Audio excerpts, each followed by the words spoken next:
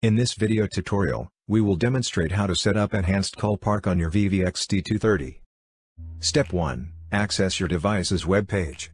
Then, click on Voice Services and select the SP service that is currently in use.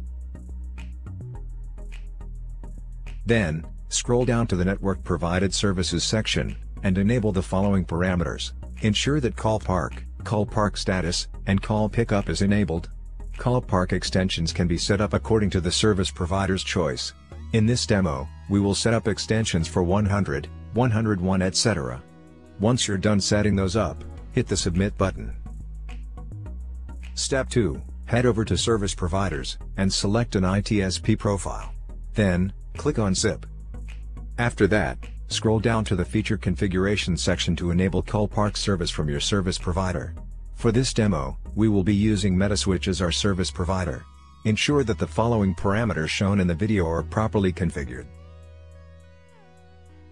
Again, once you're done making the configured settings, hit the Submit button and reboot your device.